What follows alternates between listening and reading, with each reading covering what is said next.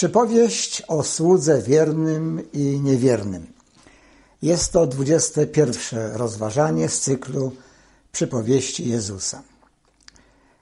Przypowieść ta znajduje się w dwóch Ewangeliach, według Mateusza i według Łukasza. Ewangelia według Łukasza podaje, że przypowieść jest odpowiedzią na pytanie Piotra co do przypowieści wcześniejszej o sługach oczekujących powrotu Pana z wesela. I chcielibyśmy zapoznać się z tekstem, może tylko z Ewangelii według Łukasza, rozdział 12 i wiersz 41 i niżej. Wtedy Piotr zapytał: Panie, czy do nas mówisz tę przypowieść, czy też do wszystkich? Pan odpowiedział: Kto jest owym zarządcą wiernym i mądrym, którego Pan ustanowił nad swoją służbą, aby w odpowiednim czasie wydawał jej żywność? Szczęśliwy ten sługa, którego Pan, gdy przyjdzie, zastanie tak czyniącego. Zapewniam was, ustanowi go zarządcą całego swojego majątku. Jeśli by jednak taki sługa powiedział sobie w duchu, mój Pan opóźnia swój powrót i zacząłby bić sługi oraz służące, jeść, pić i upijać się, to Pan tego sługi nadejdzie w dniu, w którym się nie spodziewa i o godzinie, której nie zna. Surowo go ukaże i wyznaczy mu miejsce z niewierzącymi. Ten sługa, który zna wolę swego Pana, a nic nie przygotował i nie postąpił według jego woli, otrzyma wielką chłostę. Ten natomiast, który nie znał, to choć popełnił coś karygodnego, otrzyma małą chłostę. Komu wiele dano, od tego wiele będzie się wymagać, a komu wiele powierzono, od tego więcej się zażąda. A więc w obu Ewangeliach przesłanie przypowieści jest takie samo. I chodzi w niej o to, aby ci, którzy są powołani do czuwania nad współbraćmi, wiernie i odpowiedzialnie wywiązywali się z tego obowiązku. I ta sytuacja, którą widzimy w tej przypowieści, została wzięta z życia zamożnych rodzin, które zatrudniały większą liczbę sług wynagradzanych w naturze, a więc nie pieniędzmi, lecz, jak tu jest powiedziane, żywnością, odzieżą, żywnością, mieszkaniem. Jeden z tych sług pełnił obowiązki zarządcy i regularnie wydawał pozostałym zapłatę, oczywiście w postaci żywności. Ewangelia według Łukasza rozszerza przesłanie przypowieści z Ewangelii według Mateusza. Bo Łukasz wyraźnie ją adresuje do przełożonych wspólnoty chrześcijańskiej, wspólnot chrześcijańskich.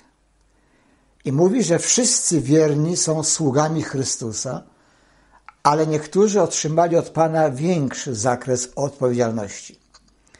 Natomiast Mateusz określa go mianem sługi, a Łukasz nazywa go zarządcą.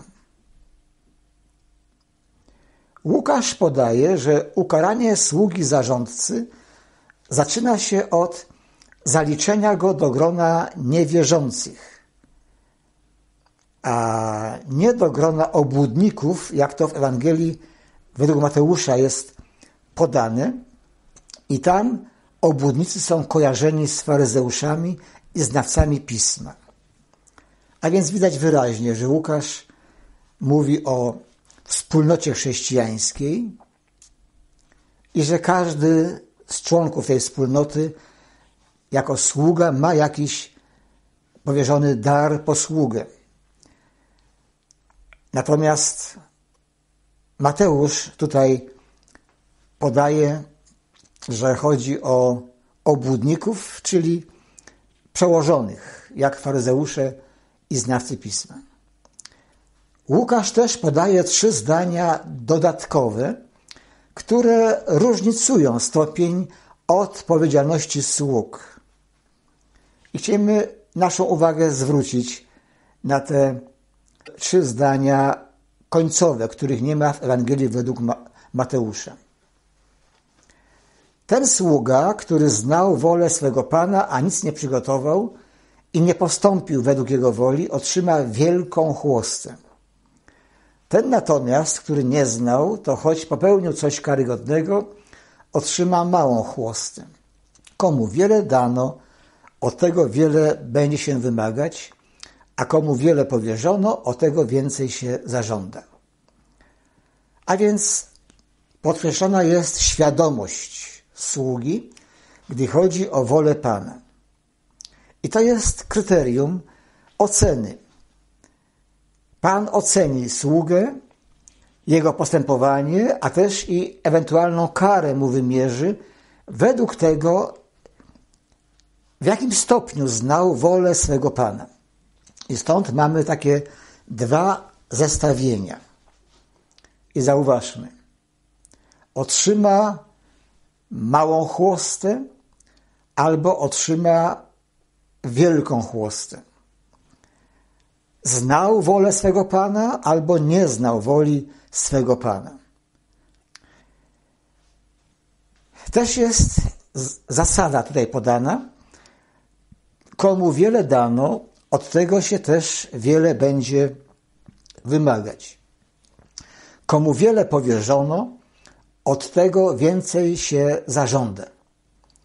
A więc jest tutaj wyraźnie zaznaczona przez Łukasza zależność między obdarowaniem, obdarzeniem jakimś charyzmatem czy charyzmatami, a wymaganiami, jakie Pan postawił przed sługą. Więc każdy musi wiedzieć, że nie wszyscy jednakowo są obdarzeni, że niejednakowe mają obowiązki, ale każdy na swoją miarę musi wykonać to, co mu powierzono. A więc proporcje odpowiedzialności uczniów Chrystusa wobec Pana Kościoła, wobec Jezusa są zróżnicowane ze względu na powierzone im zadania. Pamiętamy, w liście do Efezjan jest powiedziane, że każdy członek ma działać zgodnie z przeznaczeniem. Ciało się buduje samo w miłości, gdy każdy członek działa zgodnie z przeznaczeniem. I stąd każdy wierzący został obdarowany do posługi wobec swoich sióstr i braci w Chrystusie. Do świadectwa wobec ludzi na świecie. Ale nikt nie wie, kto ile otrzymał. Sam wie o sobie, jakie ma obdarowania, jakie ma powołanie, ale nie może mówić, że ktoś ma mniej albo więcej. Nie możemy nikogo oceniać. Każdy niech rozpozna samego siebie. I każdy jest wezwany do rozpoznania woli Jezusa wobec siebie samego. W tym miejscu, w którym się znajduje, gdzie żyje i w tym czasie, kiedy mu zostało to wszystko powierzone. I stąd Łukasz wyraźnie kieruje ostrzeżenie do wszystkich uczniów Chrystusa, by każdy wiernie, roztropnie, czynnie, zaangażowanie oczekiwał powrotu Pana, a więc Chrystusa. I w tym czasie wykonywał wszystko to, co mu zwierzono. Natomiast odpowiedzialność każdego, kto stoi na czele wspólnoty, jest przełożonym. Jego odpowiedzialność jest większa niż innego członka wspólnoty.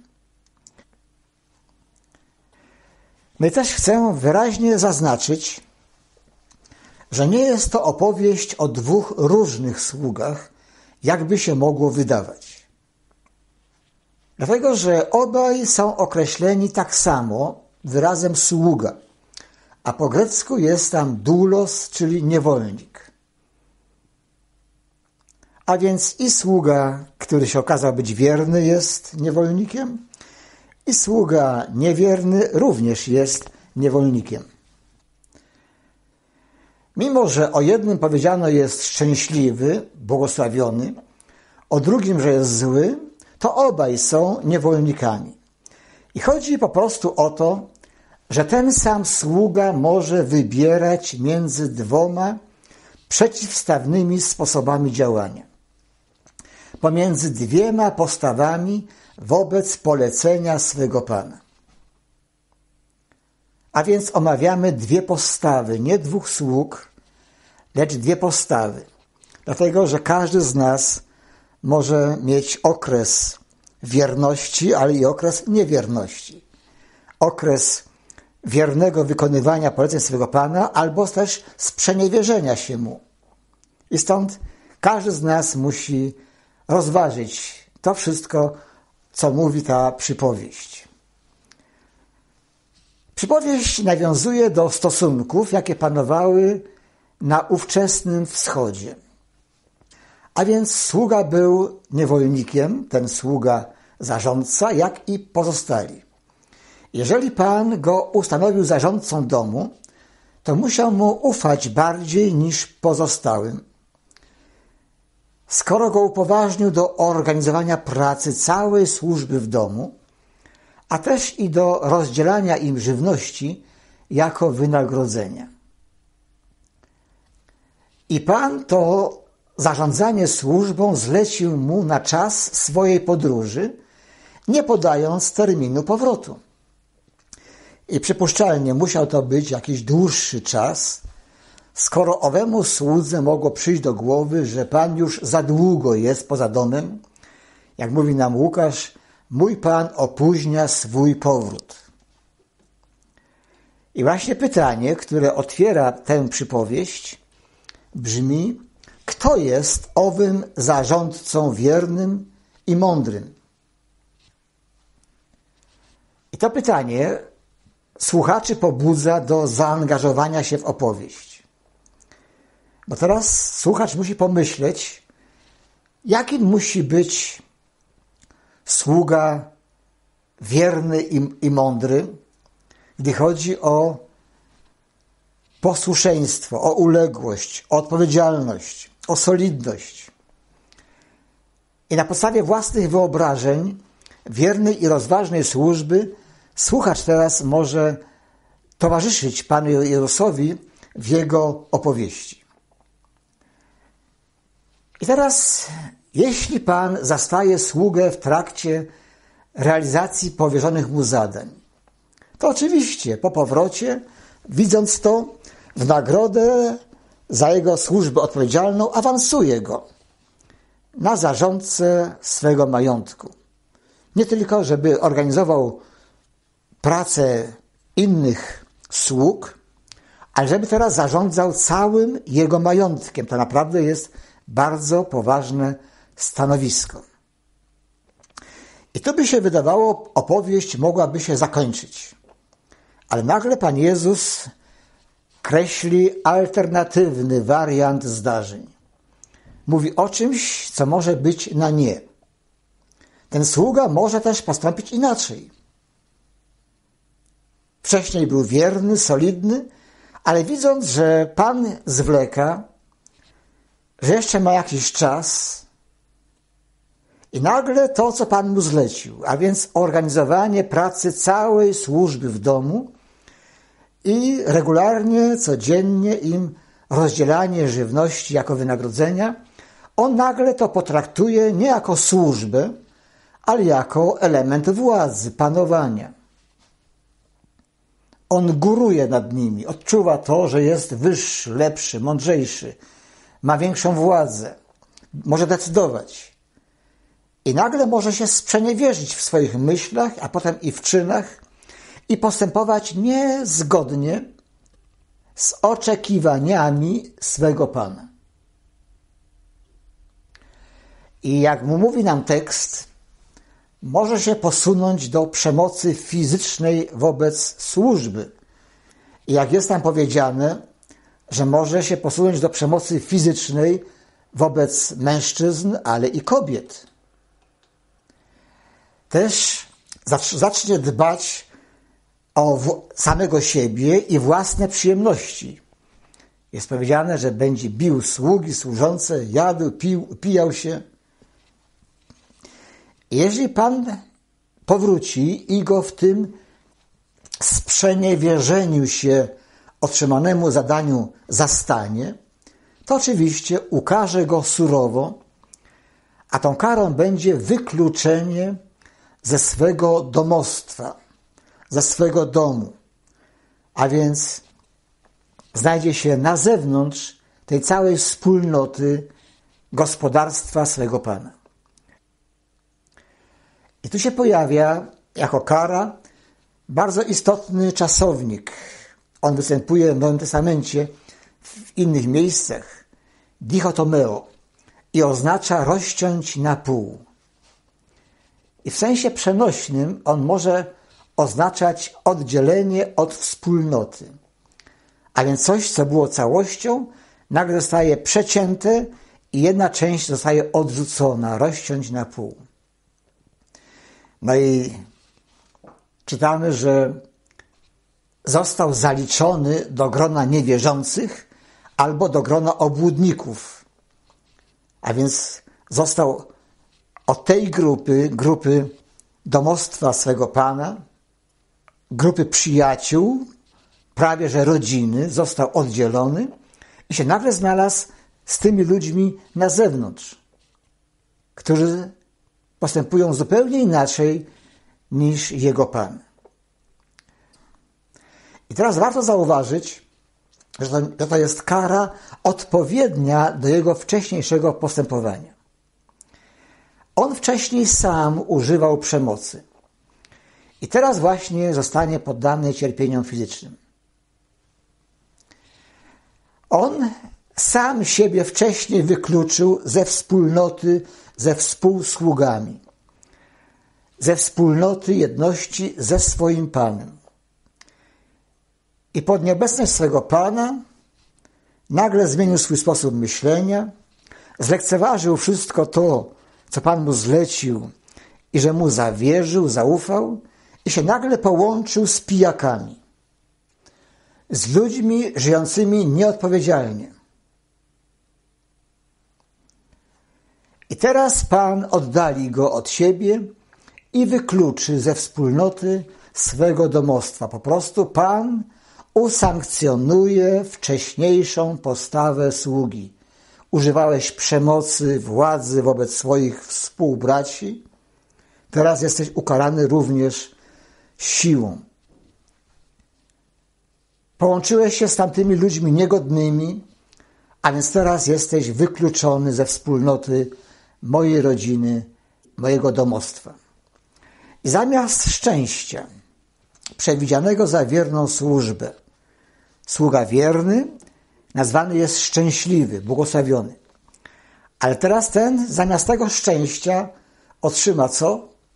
Coś, co określa tak symbolicznie płacz i zgrzytanie zębów. Co symbolizuje to wyrażenie? Po prostu rozpacz, smutek, jakieś intensywne cierpienie. Cierpienie duszy, cierpienie wewnętrzne, a też może i jakąś dolegliwość.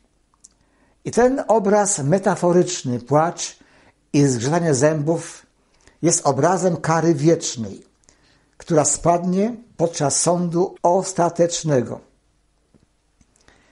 I tutaj w konspekcie podaje odnośniki z Ewangelii Mateusza, Łukasza, właśnie o tej karze wiecznej i o tym wyrażeniu.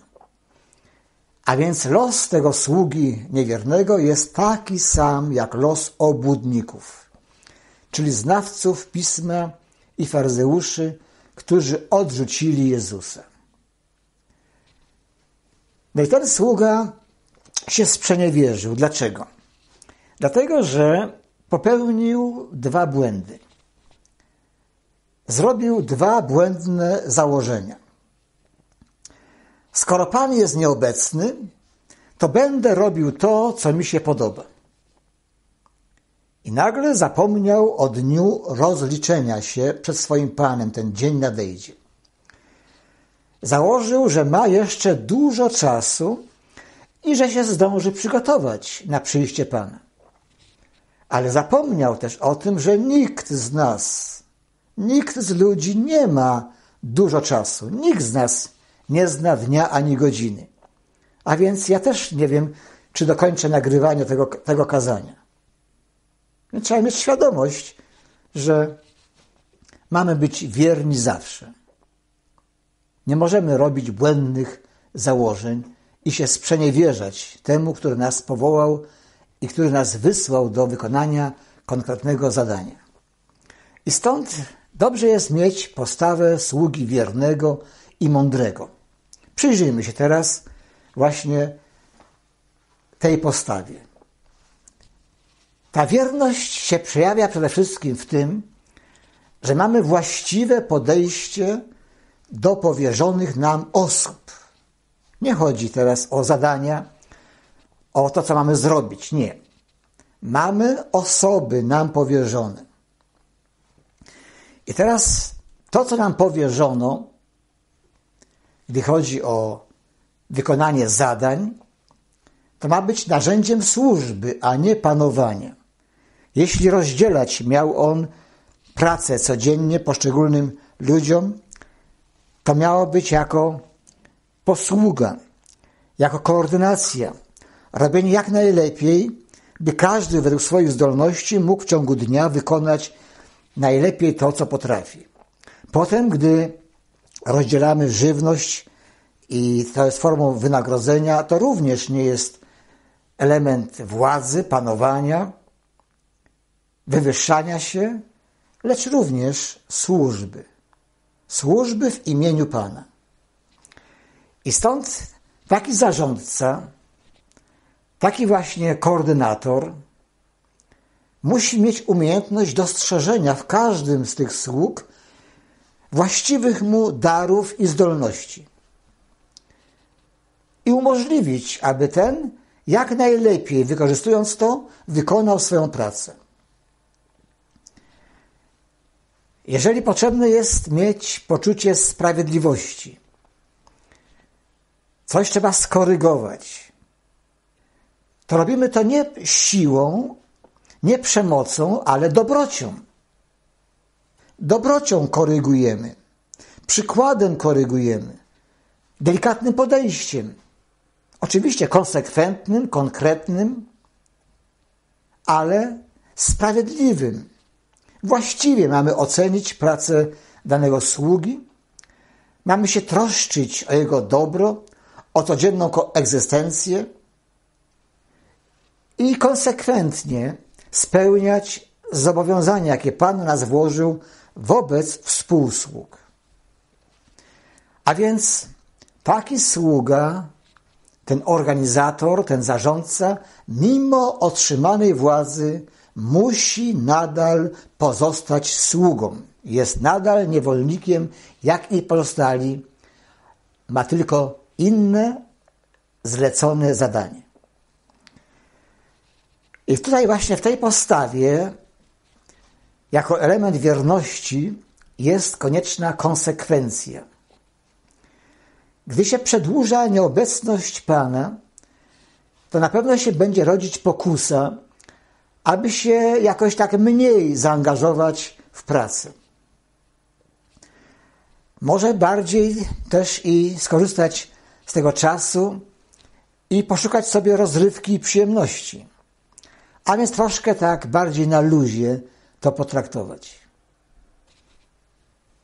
I właśnie wierny sługa będzie daleki od takiego myślenia. On skoryguje swoje myślenie i nie ulegnie pokusie. Będzie się modlił, nie dopuszczaj prób ponad nasze siły. Zazwyczaj mówimy, nie wódź nas na pokuszenie, ale tam chodzi o to, żeby Bóg nie dopuszczał prób ponad nasze siły. Będzie się modlił, ażeby mógł się skupić w dalszym ciągu na tym, co ma wykonać, na postawie właściwej wobec sług i wobec swego Pana, a nie na własnej chwilowej korzyści i zadowoleniu. I będzie mu w tym pomagać świadomość powrotu Pana. Jego przyjście jest pewne pomimo opóźnienia. I ta świadomość, obecna w tym słudze aż do końca, spowoduje, że gdy Pan przyjdzie, to wtedy też i będzie weryfikował uczynki tego sługi. On się przyjrzy i zauważy. Jeśli był wierny, będzie szczęśliwy. Jeśli był niewierny, to niestety będzie złym sługą i poniesie konsekwencje.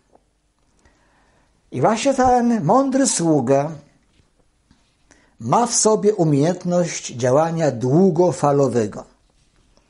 Nie zraża się czymś, co pokazuje, że się coś opóźnia, coś jest nie tak, nie w czasie. On daleko, daleko sięga, patrzy na koniec, na finał dlatego jest konsekwentny w swoim działaniu.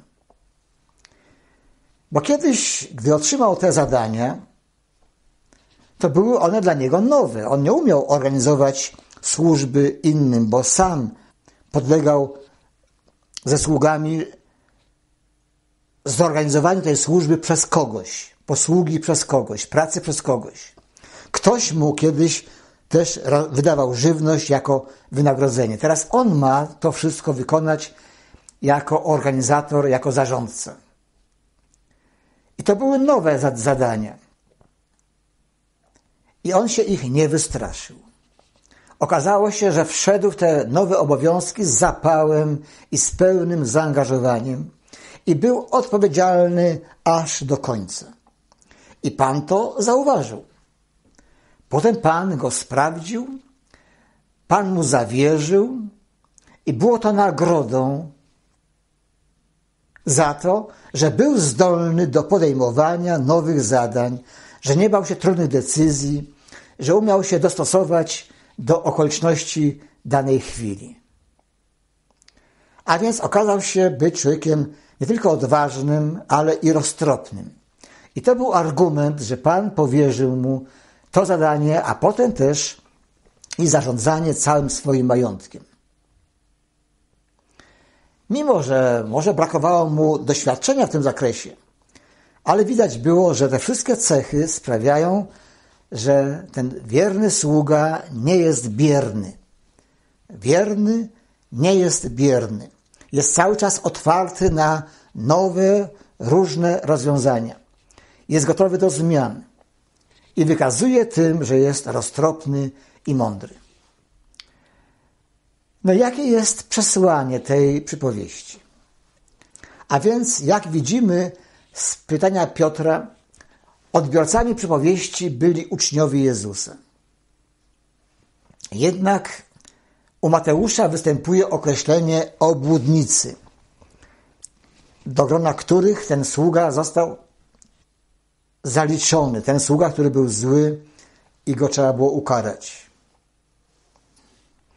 A więc Pan Jezus widocznie chciał pokazać postawę przywódców religijnych Izraela wobec Niego.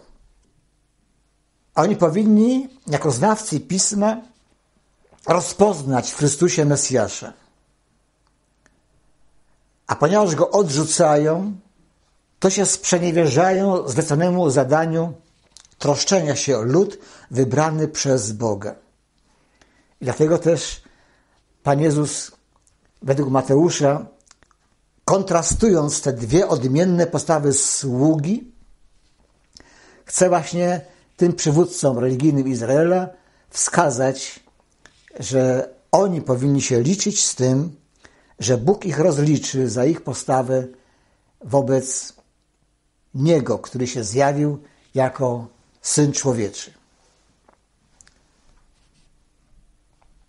W tej przypowieści są też elementy, które tę historię umiejscawiają w perspektywie przyszłego powrotu Chrystusa, Mesjasza. A więc jest ten dzień nieznany, niespodziewany, godzina nieznana, I Pan Jezus nieraz to zapowiada, w konspekcie podaje właśnie miejsca u Mateusza, gdzie właśnie Pan Jezus mówi już o sobie bezpośrednio, że Syn Człowieczy wróci i nikt nie wie kiedy. Również to, co wspomniałem wcześniej, płacz i zgrzytanie zębami jako opis wiecznej kary też występuje gdzie indziej u Mateusza.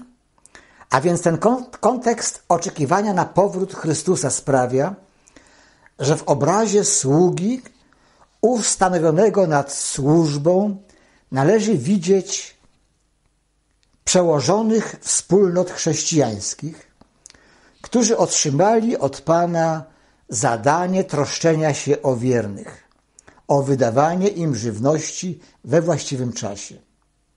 I tu chodzi o głoszenie Bożego Słowa. Dlatego, że ta metafora, żywność wydawana jako głoszenie Słowa, na przykład jest użyta w księdze Izajasza 55, 1 do 3.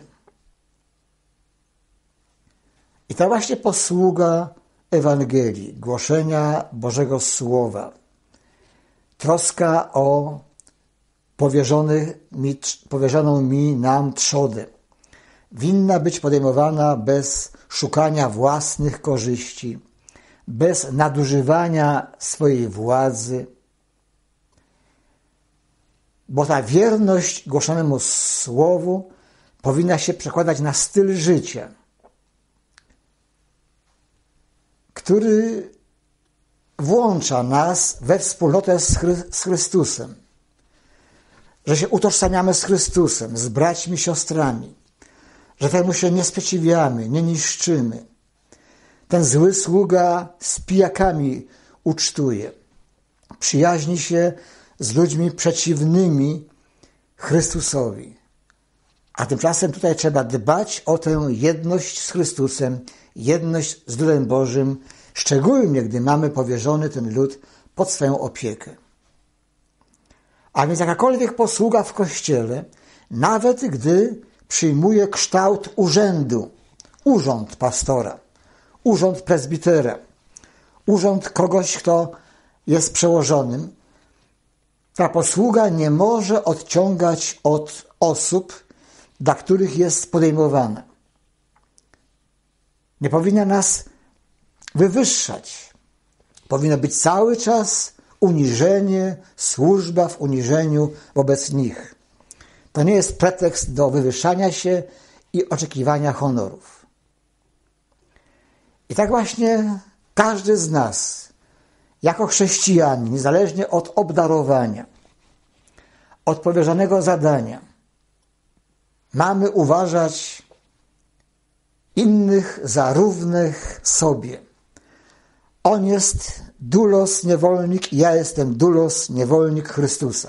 Pamiętamy apostoł Paweł, gdy list rozpoczyna, to czasami właśnie mówi y, w pierwszych y, zdaniach listu, że my słudzy Chrystusa i tam używa jako diakon, a czasami używa z tego słowa y, właśnie dulos, jako my niewolnicy, niewolnik Chrystusa. A więc miał cały czas świadomość tego, że ma być sługą wiernym, dobrym sługą. Dlatego też naszym zadaniem jako uczniów Chrystusa jest wierna i roztropna służba. Żyjemy w świecie, w którym ma nastać Królestwo Boże, to znaczy ma nasta nastać i być skuteczne panowanie Boga, panowanie Chrystusa, bo królestwo oznacza panowanie. Chrystus ma panować. I nasze posługiwanie na rzecz przemiany świata dokonuje się poprzez świadectwo naszego chrześcijańskiego życia w tym miejscu, w którym Pan nas wyznaczył. A więc kogoś z nas wyznaczył w rodzinie, w pracy, wobec przyjaciół. I chodzi nie tyle, że się boimy naszego Pana, bo On przyjdzie i nas, nas ukaże. Nie. Po prostu solidnie z miłości wypełniamy zawierzone nam zadania, bo jako Jego uczniowie mamy taką powinność, powinność miłości. I właśnie ten czas, w którym żyjemy, teraźniejszość Twoja i moja, drogi bracie, droga siostro, jest czasem Twojej i mojej odpowiedzialności, Twojej i mojej wierności Chrystusowi.